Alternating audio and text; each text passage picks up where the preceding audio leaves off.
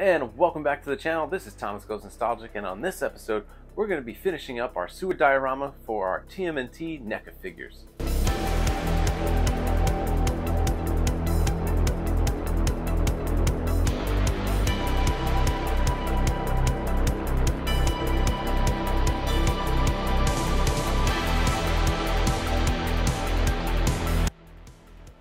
So getting right into it, we only have a few more details before I can call this project complete.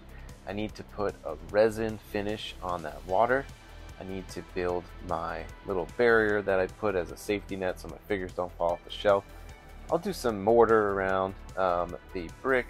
So first let's get started with this resin because it takes a long time to dry. So I'm basically just going to pour the resin. I put a bead of hot glue as a border and I'll use up this resin bottle to start my water. Now this will take a long time to dry, so once I poured it all in, you pretty much just wait. So I'm going to try and do as much as I could while this is drying, just so I can maximize my time and work on some other pieces of the project. So I wanted to use up as much of that um, resin water that I have, but I have some more resin that I'll mix up and I'll use when I go to pour another layer on. So while that's drying, I'm going to take some wooden dowels and spray paint them silver and those will act as some bars that I'll put on the sewer cap. So you can see I built this border to keep the resin in. I'll let that sit for a couple of hours and then I'll paint those dowels in the meantime. So after letting the resin sit for a few hours, it looks awesome. I went ahead and took some hot glue and covered up all of that glue line that you saw and I painted it a neon green, so it looks like that ooze is dripping.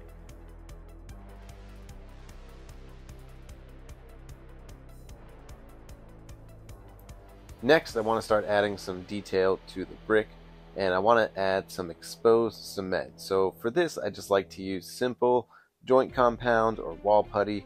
I put it in random spots throughout the diorama, and then once that dries, I go ahead and paint it a light gray.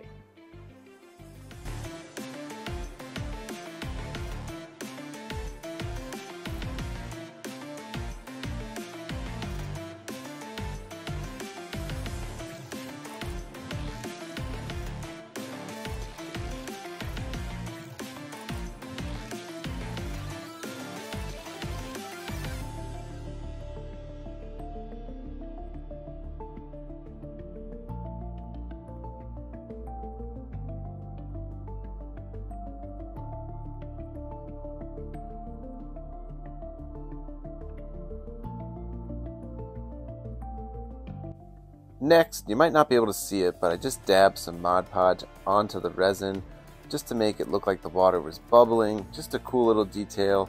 Um, it'll dry clear, but just wanted to add a little more texture to the top coat of that resin.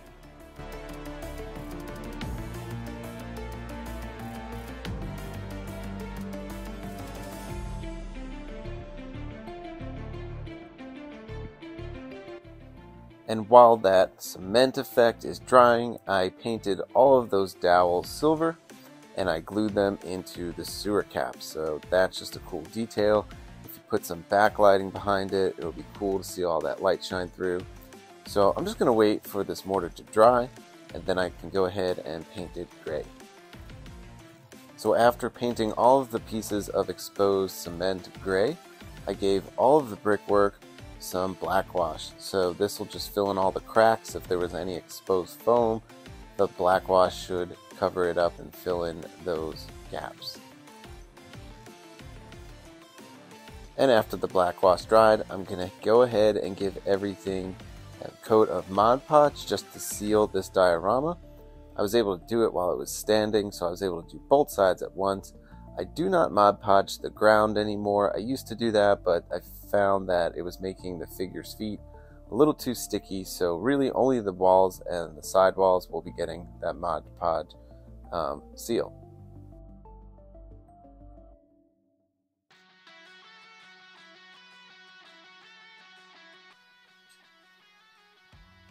Alright folks, and this diorama is complete. So I split it up into two weeks because last week I didn't want to rush and I really wanted to finish off some of the details. I put some of that mortar on to look like exposed cement. I put those bars in between the sewer caps and then I poured the resin. The resin was probably one of the most time consuming things. It takes a really long time to dry, but I really wanted to make sure that I got that right. And I thought just to cap it off, I used a lot of hot glue on the end just to make make it look like that sewer water or that ooze was coming off the side of the diorama. So at this point, I want to start getting some figures on, but first I'm going to do a special unboxing. And right on time to finish this diorama, I got my Mousers in the mail. So I ordered these quite a few months ago. I think everyone's starting to get these in the mail today, and I am excited to get them on the shelf. There's lots of different variations of those Mousers in there. I'm excited to see all the different ways you can display them. In the meantime, I was displaying these Mousers from the 2003 cartoon toy line, I believe. These are pretty cool. They actually did look good with the NECA figures. I like that they have these articulated jaws. They're kind of spring-loaded. Pretty cool. So we're going to put these back with our 2003 turtles that I have. I might do a video on those in the future. But for now, let's get these NECA TMNT Mousers open. So just looking at the box for the Mousers, pretty cool. Um, it does have that standard design on the box. I do like the artwork inside of the Technodrome. Uh, when you look on the back, this is kind of one of my big, um, not complaints, just more critiques. When NECA comes out with the box art, they don't change the biography on the back. It's really just the story of the turtles. It would have been cool if they would have uh, maybe given us a story about the Mousers, telling us when they first appeared. But um, you know, that's why uh, it's good to get these figures and then you can kind of do your own research and find out the history of the figure. But just a gripe, but let's get these figures open. I'm excited to see some of these accessories. And let's check them out.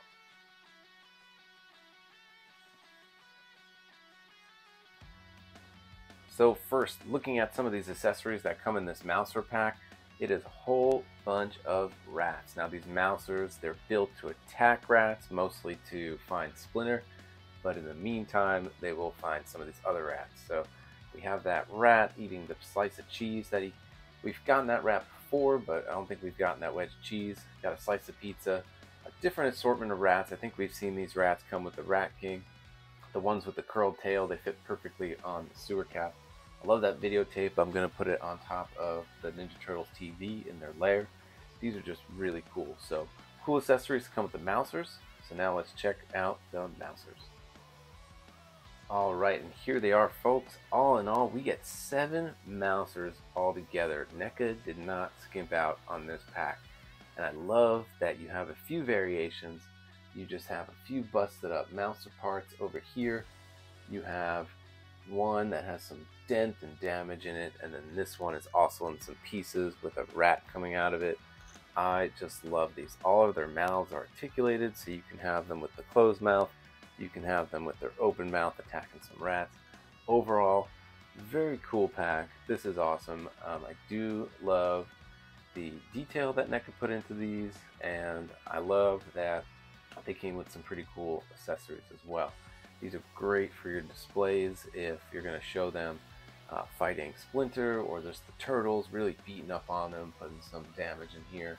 So just really awesome. This one even comes with a hole so you can put Raphael's Sai inside. Pretty cool. So nice little touch. Love that. Let's get some more of the figures on and then get this diorama on the shelf. Alright, now here's the reason why I built this. I really wanted to get some of these villains or these sewer dwelling characters off the street scene so I can have some more room some, for some figures coming in. But these figures fit in perfectly down in the sewer. So I'm going to add some more of this display. I got a lot more of these TMNT figures to open. I'm very excited. But for now, I'm just going to get on the shelf and then get make some room for all these figures that I have to unbox that I've been waiting for. So without further ado, let's get it on the shelf and see how it looks.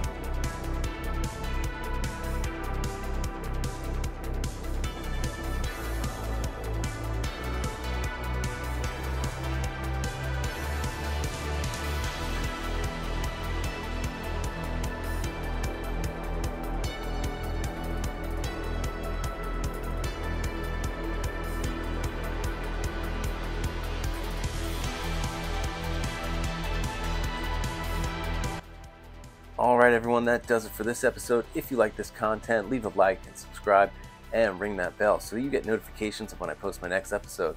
Until then, we'll catch you next time.